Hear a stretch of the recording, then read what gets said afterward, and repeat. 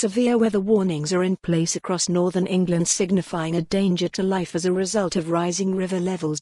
Parts of northern England and the Midlands had a month's worth of rainfall in 24 hours on Thursday and overnight. There are five severe warnings in place along the River Don in Doncaster at Barnby Dun, Kirk Bramwith, Kirk Sandall, South Bramwith, and Willowbridge Caravan Site. Redmore, Half of UK citizens think the country will not exist in a decade. Dozens of people have been forced to evacuate their homes, while others were trapped overnight at a shopping centre in Sheffield. There are also more than 100 flood warnings in place, with a majority in Yorkshire, Greater Manchester, Derbyshire, and Lincolnshire. Transport has also been heavily affected with motorists and rail users urged to check traffic issues before travelling. The Environment Agency has urged people to stay away from swollen rivers, with the latest recording showing River Don had risen to 6.3 meters, well above the average deviation of 0.2 meters to 3.6 meters. The highest rainfall recorded was at Swineshaw in the Peak District, which had 4.4 inches fall in 24 hours, while Sheffield saw 3.4 inches during the same period. The average monthly rainfall in Yorkshire for November is around 3.5 inches.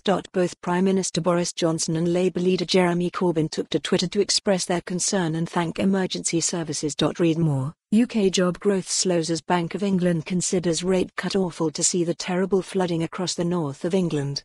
Thank you to the emergency staff and volunteers helping families through this difficult time, Johnson tweeted. Meanwhile, Corbyn said, My thoughts are with all those affected by the floods in Sheffield, Rotherham, and across the region.